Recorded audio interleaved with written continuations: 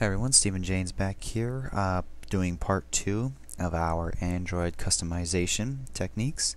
Uh, the first video we got through using LauncherDock to basically take multiple applications and stick them into one icon. And we use that in combination with the icon packs from Better Android. Now what we're going to do is use SMS Pop-Up. And this is uh, an application that I talked about in my recommended apps for the Android phones. And what this does is basically it will, instead of giving you your text message up here in the notification bar, it'll now replace that, if you choose, with a little pop-up message. And this is pretty cool because there's my girlfriend talking to me. Yes, I am still up. I will talk to you in just a second, babe. But um, the way SMS pop-up works is this. You basically um, it gives you, like I said, it gives you a little pop-up screen, which is kind of cool because instead of doing the notification bar, you can you can have that. So when you take your phone and turn it off of uh, lock mode, it'll just show you the icon of your contact as well as reply, delete, and reply, delete, and cancel. I think is the um, quick buttons that they give you. So you can different ways to notify this you can uh, have vibrate on and off. There's a vibrate pattern. You can do blinking LEDs, and which is kind of cool because you can change the um, LED color, which is I think really cool. So uh, right now we have it set to orange. I'll just keep it as that. You can also um, enable your reminders. Basically, um, the unread the unread messages. If you excuse me, if you don't read a message, then the reminder is disabled, so it's like it doesn't pop up ever again. Um, otherwise, you can turn that on, and it'll just you know every five minutes it'll keep saying, "Hey, idiot, read your messages." Okay, there's also uh, notification sounds, you know, and all that stuff.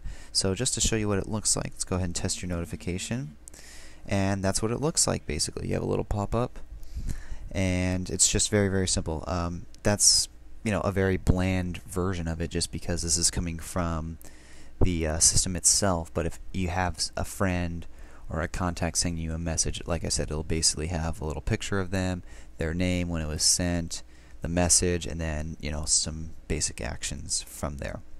So that's SMS Pop-Up. That's a free application on the Android Marketplace. Just looks just like that one right there. And the next one we're going to get into is called Missed Call. And this one works um, I guess you can say very similar to how SMS pop-up works, where SMS pop-up takes your text messages and turns them into pop-up messages. Uh, missed call takes your basically your customization to a whole new level in terms of ringtones, vibration patterns, and LED patterns and LED LED um, colors. Excuse me.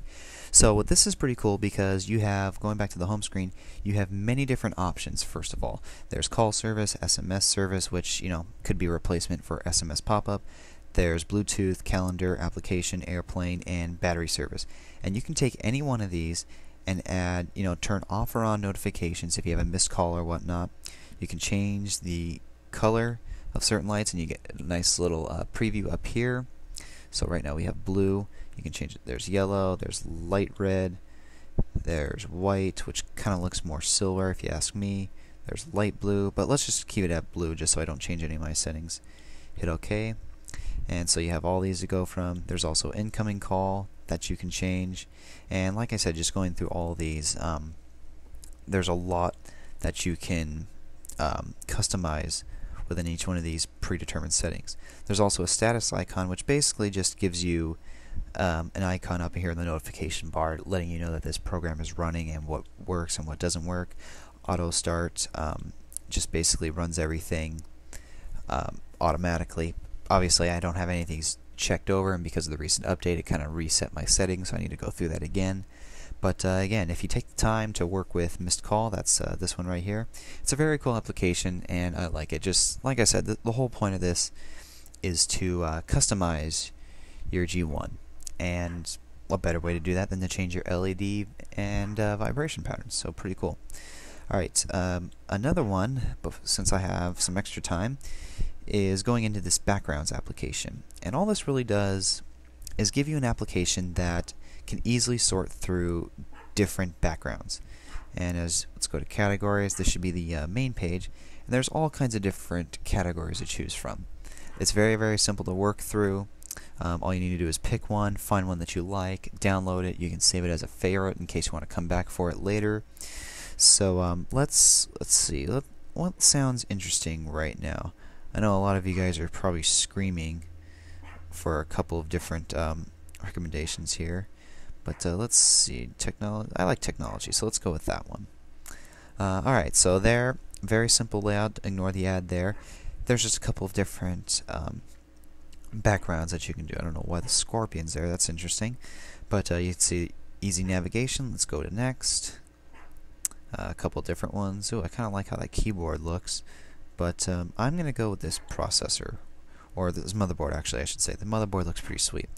So um, here you have an enlarged view of what this looks like. You can now add this as a wallpaper, which I'll do in just a second to show you.